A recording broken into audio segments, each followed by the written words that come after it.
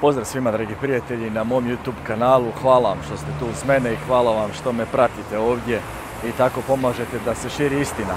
Ne znam jeste li gledali dnevnik RTL televizije, novinarka RTL televizije e, na temu obuke hrvatskih vojnika u Ukrajini, pa onda kaže Plenković to nije u Ukrajini, to je samo u Njemačkoj, e, a vezano uz obuku e, cijele priče oko Ukrajine, E, kaže novinarka RTL-a kako je RTL zatražio od NATO-a i dobio odgovor da ta e, vojna vježba nema veze s Ukrajinom. Kakvi teletabisi. Valjda su očekivali da će NATO savez hrvatskom RTL-u e, reći da objavljuje rat potpuno u Rusiji. Dakle, baš teletabisi totalni. No, Mostov stav je jasan. Mi smo uvijek za ljude koji se brane i to uopće nije sporno. I ovdje smo jasno stali uz sirotinju, uz obitelj, uz žene, djecu, uz sve one koji pate u Ukrajini od ruske agresije. I to nije sporno i to smo istaknuli na stotine i stotine puta. No ono što je sporno za nas je miješanje Hrvatske na istočni front. Ukrajina nije članica NATO saveza. A ovaj dokument u Njemačkoj, on je baš perfidna igra Plenkovića koji potpuno slijedi Makrona, on je Makronov potrčko, mislim, možda, je, možda su ovo teške riječi, ali to je tako. Dakle, Plenković je na daljinske Ursule i Makrona.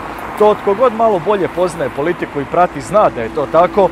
I on vam je kao oni, sjećate se oni e, dečki u srednjoj školi koji su pošto poto htjeli se družiti sa cool likovima, pa su radili od sebe budale, radili su od sebe nešto što oni nisu. I to radi barem mi se tako čini Andrej Plenković. On pošto poto želi se svidjeti Makronu i Ursuli, da se ono bahati, da se prsi i ne znam, ono, napravio bi sve što može samo da je u njihovom društvu. I to je strašno. A mi Mostovci, nas je narod birao u Hrvatski sabor da se borimo za hrvatski narod, da nam Hrvatska bude prva, da brinemo o sigurnosti našeg naroda, da brinemo da naši ljudi dobro žive u Hrvatskoj. Poštovanje. I, i o tome govorimo i zato smo mi protiv bilo čega što dovodi u opasnost e, nacionalnu sigurnost i nacionalnu ugrozu. A Plenkovićevi potezi to rade. Samit ovaj u Dubrovniku, e, guranje u prvi plan Hrvatske prema Ukrajini, to nema veze sa hrvatskim narodom i sigurnošću našeg naroda. A mi uvijek možemo pomoći svakom koji je ugrožen na različite načine, kroz humanitarnu pomoć i kroz neku tehniku i ostalo i to radimo.